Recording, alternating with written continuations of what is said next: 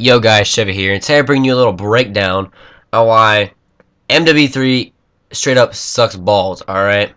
I'm not gonna make this a top 20, top 10, just straight up why this game sucks. Not the little ABD ones, like, oh, EMP7 sucks. No, I'm gonna make it just the big points on why this game sucks. So I'm gonna start it off with the death streaks. The death streaks I really, really hate, mainly, is Dead Man's Hand. Like, I'm cool with them having a C4 when they fall, but why is it like when you're not in dead, dead man's hand, you have to throw a C4 and click the button to get a kill? But when you're in dead man's hand, when they shoot you, it goes off. Like, how the hell do you shoot a freaking... How do you click a goddamn C4 when you're dead? It makes no sense, and the range of it was fucking insane.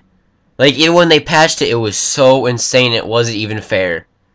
So, I don't, I don't want to get caught up on this, but, uh a final stand. Now, putting him in final stand, make it like any other game, like Modern Warfare 2 was. Put him in final stand with a pistol, not their damn primaries. Like, I don't get what the point of death streak is in the first place. Like, I'm fine with Juiced, I'm fine with Revenge, Hollow Points. I just can't stand those two. Like, if you can't get a fucking kill, why would you give them something that gets them? It's not our fucking problem. They can't get a kill because they blow cock at Call of Duty. I mean, Modern Warfare 3 is not that hard. I mean, geez. Now, I'm going to go on to support. Support is probably the dumbest thing I've ever seen put in a Call of Duty. I think they should have stuck with the Assault and Specialist. Support means you, I, I mean, it just means you have no damn skill whatsoever. Like, you need to die and get, like, I could die three times in a damn row and get a damn UAV a second later. Just because you don't need to get a damn frickin' kill streak right in a row. It's like, uh, once again, it's not our problem you can't get a kill streak because you blow at this game. It's not that hard.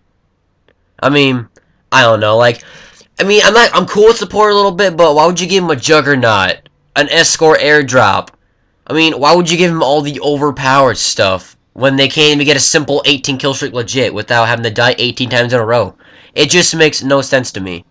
I like a Assault, I like Specialist, I'm cool with those. It actually, takes skill to get what you need. Now, people are going to say, or everyone says this, but I hate campers in this damn game.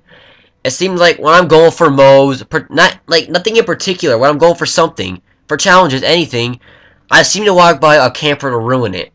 Like a person sitting in a corner with an MP9, PM9, ACR, MP7, UMP. Just people just sitting in corners. I'll be five off a MOAB, two off a MOAB, and boom, you walk by a kid just sitting in a corner doing nothing with his life in that game. Like, not even prestige. You're not sitting there for any particular reason but to troll people. It's just, it's just amazing what how what people do in this game. Now I don't want to get caught. I don't want to get all caught up in this shit, raging on the commentary. I just wanted to tell you guys why I hate this game and just just bring you something. So, see you guys tomorrow. I'll be bringing you a commentary of me doing whatever the hell I find. So, uh, see you guys.